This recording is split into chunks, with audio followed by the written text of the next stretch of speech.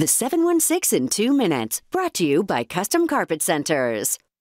Hi there, I'm Ashley Rowe from 7 Eyewitness News. Thanks for joining us. Dozens of demonstrators took over parts of Hertel Avenue in North Buffalo Friday night, calling on businesses to publicly declare their support for black customers and denounce racism.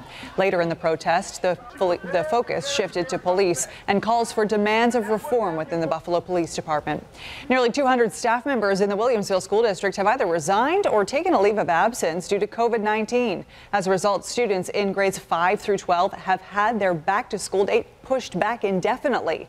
Any student on a hybrid model will begin on September 8th.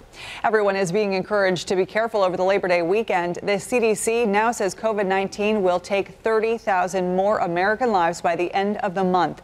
President Trump says there could be a vaccine by the end of the year, but the Surgeon General says that would not mean we are out of the woods. Time now for a check on your forecast with meteorologist Andy Parker.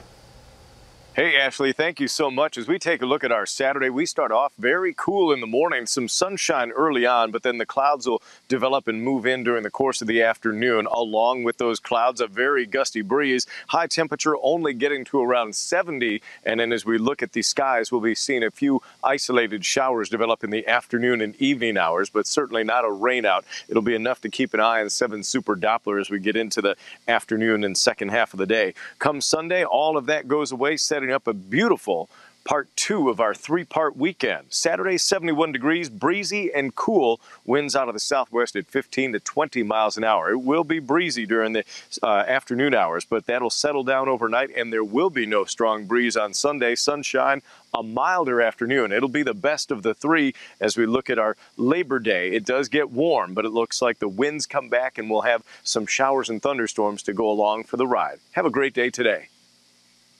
The 716 in two minutes, brought to you by Custom Carpet Centers.